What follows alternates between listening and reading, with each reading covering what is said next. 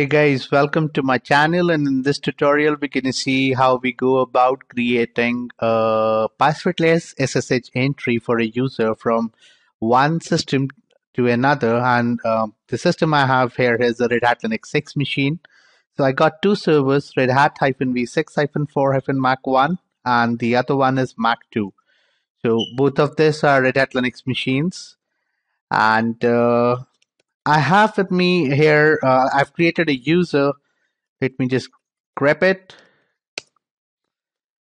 Ripul that is existent into both servers, Mac 1 as well as Mac 2. And uh, we will be setting up an SSH, uh, passwordless SSH entry for Ripul user from Mac 1 machine to Mac 2 machine.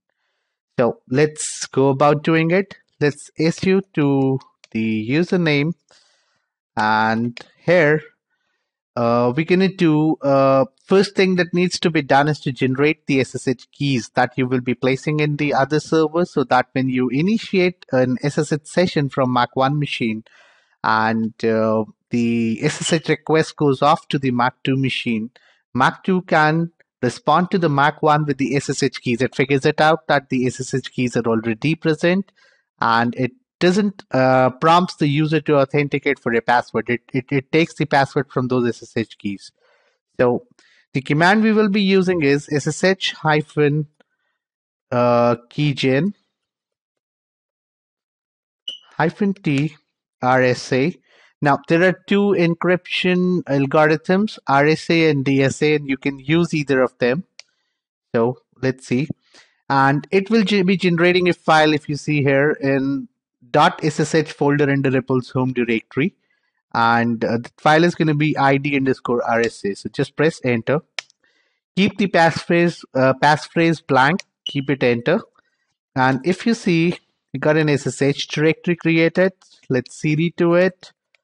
And here are two keys id underscore rsa that's the private key and id underscore rsa dot pub that's the public key. So let's uh, we need to place this uh, RSA id.rsa.pub to the uh, in the home directory of ripul on the other server. So let's go about doing it. Say scp this id underscore pub and uh, to the other server ripul at mac 2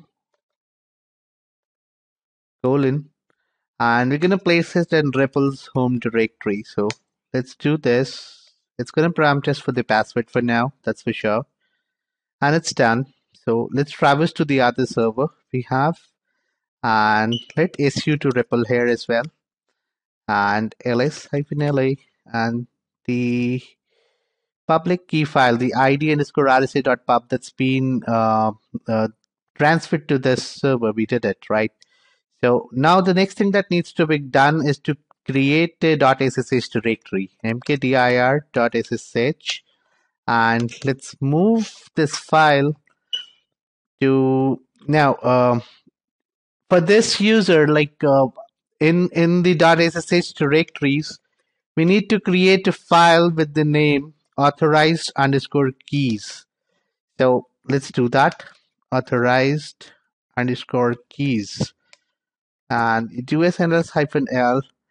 Now, uh, the thing is that uh, this file, we will be placing these public keys in this file. And for a user, suppose say uh, to this specific server, uh, Mac2, if a user is set, has set up a SSH, uh, a passwordless SSH connection from lot many servers there in the network, so this file will be containing the the uh, public dot this id underscore rsa dot pub keys from all those servers. So we need to place our files here. So uh, let's uh, do that because you know the contents of this file are sensitive. Even a space or a blank, if accidentally put in, can uh, cause it not to work. So let's uh, dot dot and la ls hyphen la and we're going to cat the contents of this and redirect it to .ssh slash authorized underscore keys. And uh, let's cd2.ssh again and cat the contents of this file.